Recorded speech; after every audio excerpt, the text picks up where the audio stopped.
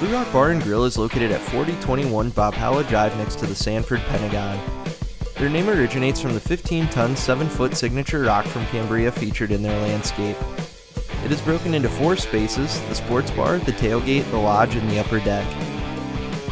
The sports bar offers casual dining for families, teams, and groups of all sizes. With a main bar, a flexible dining space, and lively atmosphere, they can accommodate any group anytime. The tailgate is where the party starts. Designed as an ultimate pregame spot, the tailgate features four roll up garage doors, a patio courtyard, and a lively atmosphere for apps, drinks, and fun.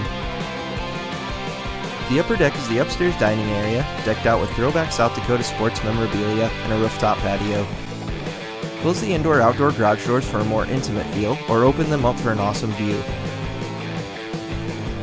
Finally, the lodge is a warm adults only dining space for cozy, intimate meals. Surrounded by rock walls and hardwood, the ambience is outdoor meets indoors for a quiet meal among friends. Blue Rock Bar and Grill also hosts weekly trivia nights, daily features, and special events.